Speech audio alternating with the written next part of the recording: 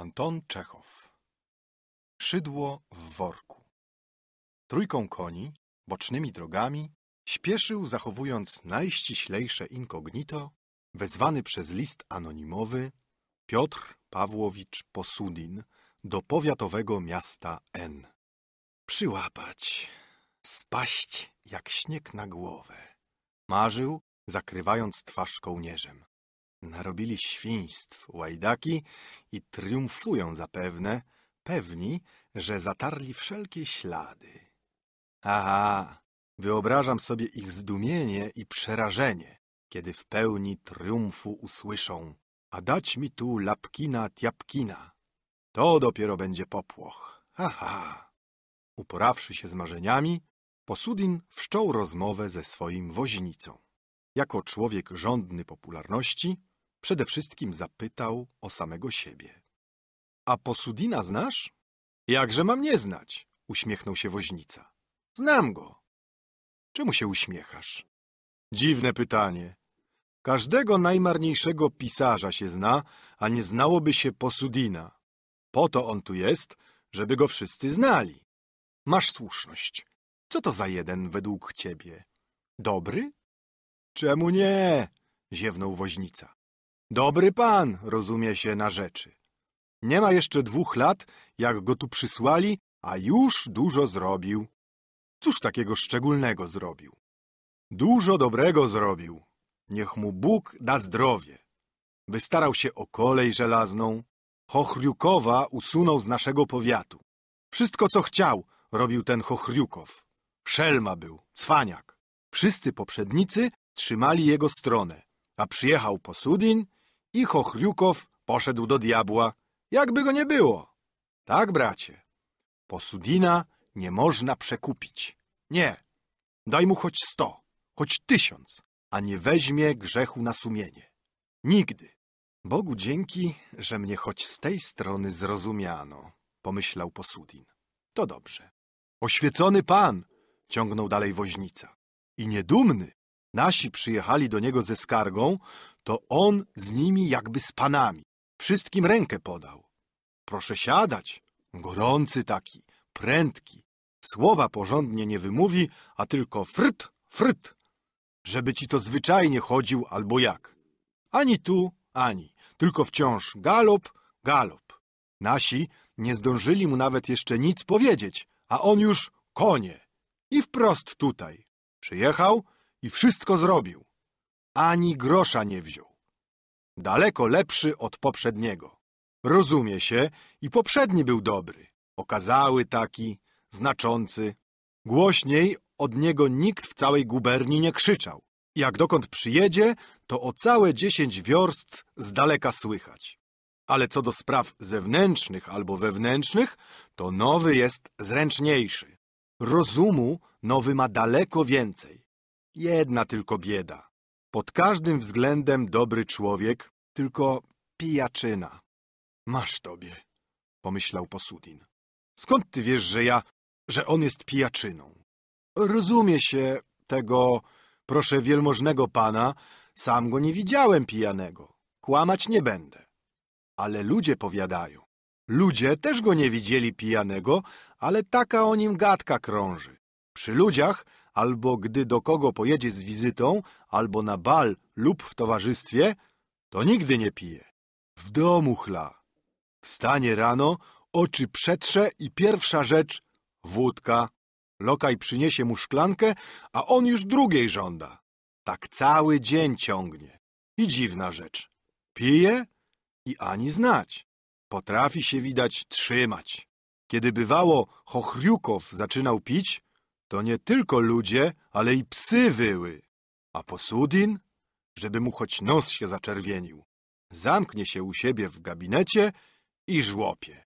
Żeby ludzie nie spostrzegli, urządził sobie w stole taką szufladkę z rurką, a w tej szufladce ciągle jest wódka. Nachyli się, pociągnie przez rurkę, ot i pijany. W karecie też, w portfelu. Skąd oni to wiedzą? Pomyślał z przerażeniem Posudin. Mój Boże, nawet to wiadome. Co za ochyda. A także co do bab, szelma. Woźnica roześmiał się i pokręcił głową. Paskudztwo i tyle. Sześć sztuk ma tych flonder. Dwie mieszkają u niego w domu. Jedna, Nastazja Iwanowna, jest u niego jakby gospodynią. Druga, y, jak ją u licha, Ludmiła Semionowna. Jest w rodzaju sekretarki. Kręci nim jak lis ogonem. Wielką ma władzę i więcej się jej boją jak jego. Ha! A trzecia flądra na Kczelnej ulicy mieszka. Wstyd! Nawet imiona znają, pomyślał Posudin, czerwieniąc się. I kto? Chłop, furman, który w mieście nigdy nie bywa. Co za ochyda. Skąd ty to wszystko wiesz? spytał Posudin z rozdrażnieniem. Ludzie opowiadają. Sam nie widziałem, ale od ludzi słyszałem. Czyż to trudno się dowiedzieć? Lokajowi albo furmanowi języka się nie utnie. A może i sama Natalia chodzi po wszystkich zaułkach i chwali się swym babim szczęściem. Przed okiem ludzkim ukryć się nie można. Przyswoił sobie także ten posudin zwyczaj potajemnie jeździć na śledztwo. Dawny, kiedy mu się zachciało dokąd pojechać, to na miesiąc przedtem dawał znać. A kiedy jedzie, to krzyku tego, hałasu, wrzawy, dzwonienia, niech Pan Bóg uchowa. I przed nim pędzą, i za nim pędzą, i z boku pędzą. Przyjedzie na miejsce, wyśpi się, napije i zaczyna gardło drzeć. Wedle spraw urzędowych. Nadrze gardło, nogami na tupie, znowu się wyśpi i w taki sam sposób wraca. Nowy, jak się o czym dowie, to stara się jechać po cichutku, w sekrecie, prędko, żeby nikt nie widział i nie wiedział. Komedia! Wychodzi z domu zawsze tylnymi drzwiami, żeby go urzędnicy nie spostrzegli i dopiero na kolej. Dojedzie do stacji, jak trzeba, i stara się nająć nie pocztę albo coś porządniejszego, lecz prostego chłopa, furmankę. Otuli się cały jak baba i całą drogę gada ochrypłym głosem, jak stary pies, żeby go po głosie nie poznano. Po prostu kiszki bolą ze śmiechu, kiedy ludzie opowiadają. Jedzie dureń i myśli, że go nie można poznać. A nic łatwiejszego, jak go poznać, tyle co plunąć. A jakże go poznają? Zwyczajnie. Dawniej, kiedy nasz Chochriukow jeździł w sekrecie, tośmy go po ciężkiej łapie poznawali. Jeżeli pasażer bije po pysku, to już na pewno Chochriukow, a posudina od razu poznać można. Zwykły podróżny, zachowuje się zwyczajnie, a posudin nie taki, żeby zachowywać się po prostu. Przyjedzie, dajmy na to, na stację pocztową i zaczyna. To mu źle pachnie, to duszno, to mu zimno. Dawaj mu i kurczęta, i owoce, i konfitury. Na stacjach już wiedzą. Jeżeli kto zimową porą żąda kurcząt i owoców, to już na pewno posudin. Jeżeli kto mówi do poczmistrza mój przyjacielu i pędza ludzi po różne drobiazgi, przysiąc można, że to posudin i pachnie od niego nie tak, jak od innych ludzi. I spać się kładzie na swój sposób. Położy się na kanapie, spryska koło siebie perfumami i każe obok poduszki postawić trzy świece. Leży i czyta papiery. Tu już nie tylko poczmistrz, ale i kot zmiarkuje, co za osoba. Prawda, prawda, pomyślał posudin. I dlaczego ja o tym przedtem nie wiedziałem? A komu trzeba, ten i bez owoców, i bez kurcząc się dowie. Przez telegraf wszystko wiadomo. Niech otula mordę jak chce, niech się chowa, a już wiedzą, że jedzie. Oczekują.